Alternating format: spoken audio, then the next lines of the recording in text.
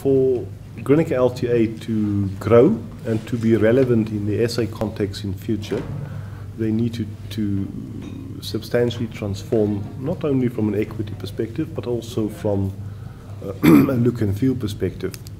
And uh, in terms of that, we actually are quite advanced with discussions uh, on a potential transaction. But uh, we want to make sure that we do it right. Um, and uh, we're not at this point where we can actually um, disclose anything.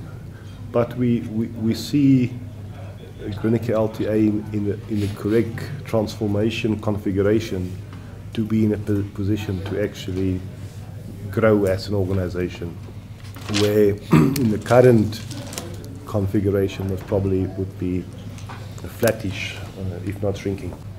The business environment is, is, is such that the preference to form a longer term relationship with companies that is fully reflective and representative uh, of South Africa, uh, I think is just better you always have to have uh, uh, some level of uh, strategic partner that you can form a long-term relationship with.